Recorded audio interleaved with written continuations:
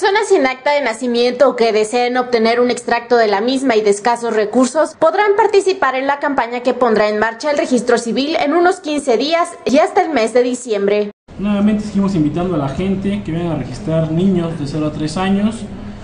que obviamente que no, no hayan registrado en ningún otro lugar, que este, necesiten su acta de nacimiento para algún apoyo de algún apoyo de índole social para inscribirlos a la escuela, a la guardería, bueno, es indispensable el acta de nacimiento, bueno, el registro de nacimiento, y ahora es cuando hay que aprovechar, ya que se abrió esta campaña por parte de la Secretaría de Desarrollo Social del Estado y el municipio de Atlisco.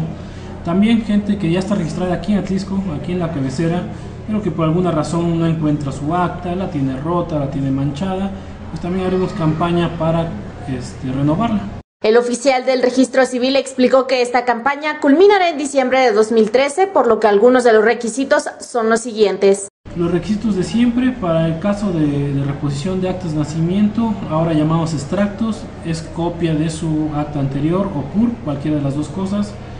Y en el caso de niños, eh, el registro de nacimiento del niño, acta de nacimiento de los papás o de matrimonio y, dos, y copia de dos testigos, copia de la credencial de dos testigos. Información de Isaac Nuevo para Nueve Noticias.